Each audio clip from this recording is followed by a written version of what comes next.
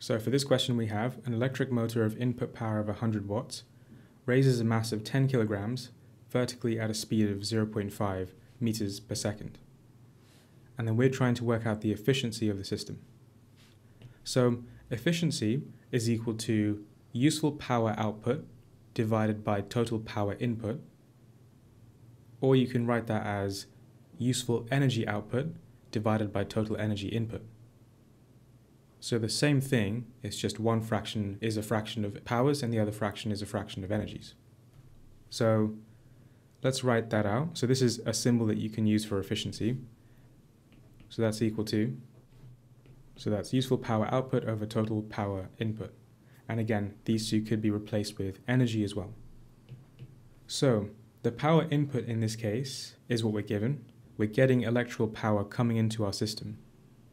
So we know our denominator is equal to 100. So what is the useful energy in this case? What is the useful power?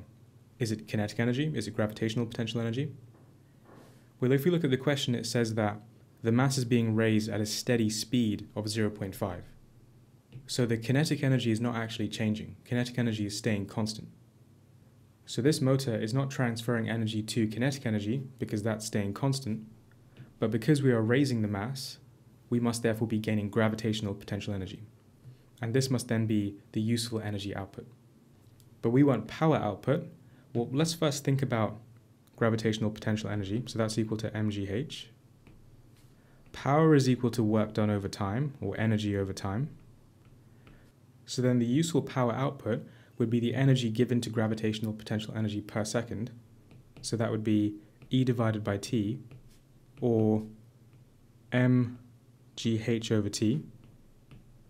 And I can rewrite this as mg times h over t, so the height gained divided by time.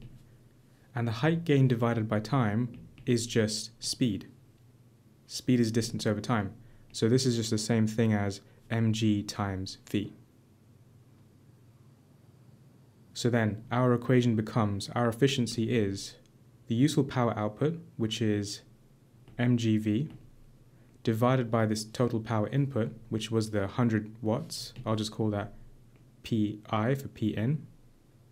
So let's put in our numbers now. So the mass is 10, g is 9.81, v is 0.5, and then we divide this whole thing by 100, and we end up with 0.4905.